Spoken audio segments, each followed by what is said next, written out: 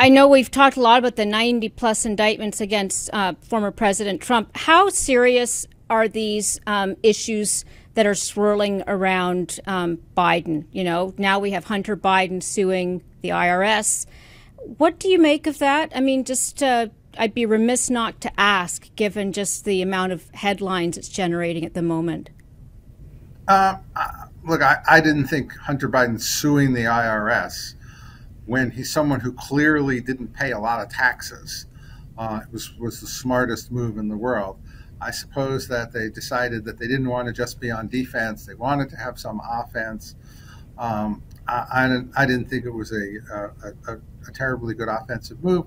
Look, I think overall the Republicans have uncovered some serious questions here. They, they say there's $20 million, that it's been gone to nine Bidens. It's unclear who got money for what and what mm-hmm. was done for that. And uh, I think that there are there are two key areas of discovery here remaining, which are the 5,000 emails in the National Archives and the banking records of everybody. And uh, I think that uh, that the Republicans won't stop until they get those or somebody destroys them. Uh, and uh, and when they get them, there will either be something there or that'll be the end of it.